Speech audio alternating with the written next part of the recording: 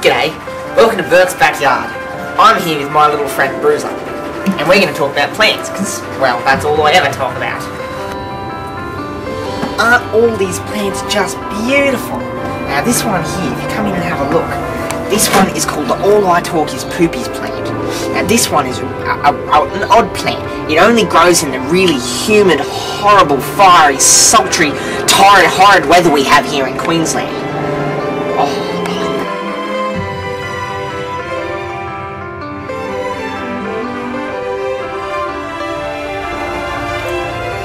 I'm not sure if I used up all my seeds the other day, but...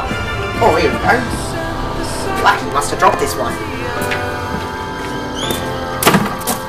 Now, for those not familiar with plants, they need three things. The first thing is care. You've got to be nice and gentle with them. The second thing is water.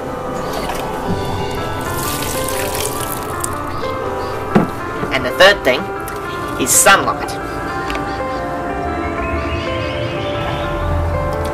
So with plants, you plant the seed, you water it, you take care of it, and hopefully the sun makes it grow.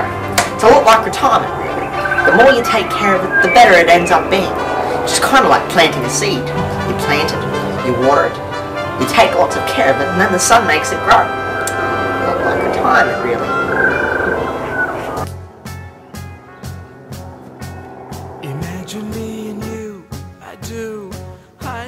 Think about you day and night. It's only right to think about the girl you love and hold her tight. So happy together. If I should call you up, invest a dime, and you say you belong to me, and ease my mind. Imagine how the world could be so very fine, so happy together.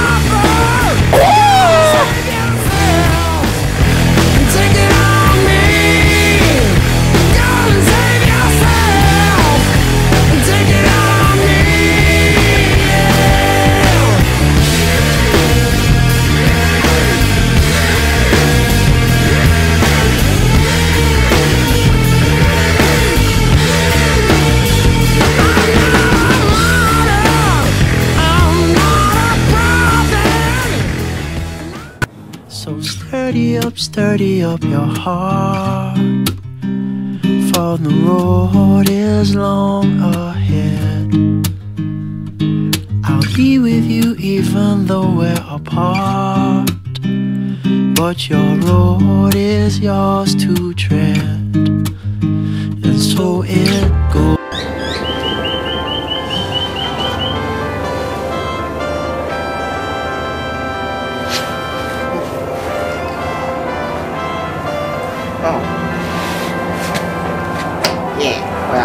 I'm a bit tired of talking about plants now, but uh, tune in next week, and um, yeah, we'll talk about plants again.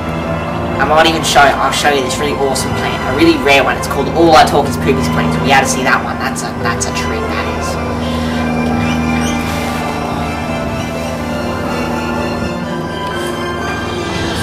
When it comes to transforming someone's life in such a way that they come to know the Lord, there's a few steps involved.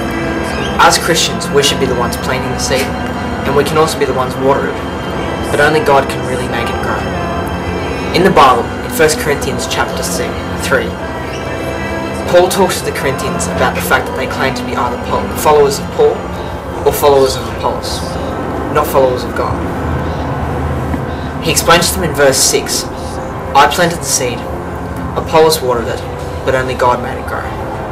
As Christians, when we're talking to people about, about Christ, about the one we serve, we have to remember that although we may be able to plant the seed and we can water it, only God can make it grow.